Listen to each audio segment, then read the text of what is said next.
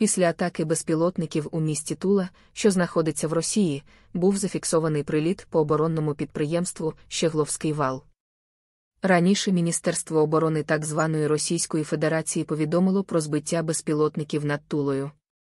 Проте засоби масової інформації та місцеві мешканці повідомляють про потужний вибух та пожежу в пролетарському районі міста, де розташований завод Щевловський вал, на якому виробляють, зокрема, зенітний протиракетний комплекс «Панцерес».